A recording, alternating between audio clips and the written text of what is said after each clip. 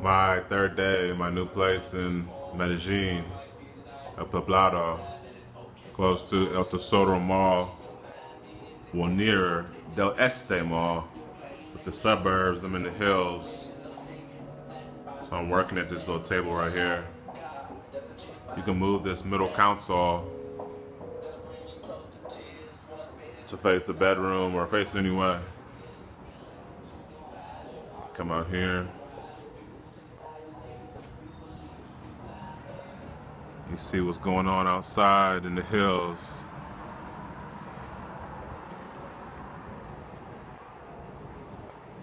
Just looking at the hills of El Poblado, we're going up. We're on Calle Carrera 25. And if you go up more, it goes down to like the number one. It's the bedroom space.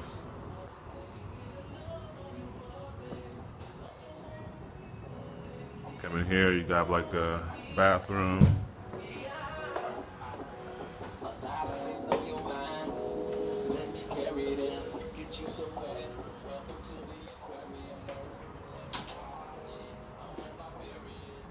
Closet space. Bathroom over here is pretty nice. I like it. It's simple, but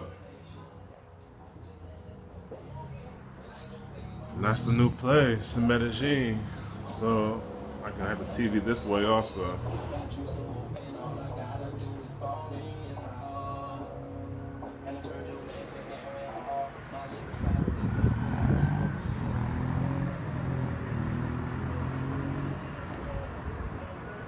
And that's outside my street where it's hard to hard to grab a taxi out here on the street so Uber is a must.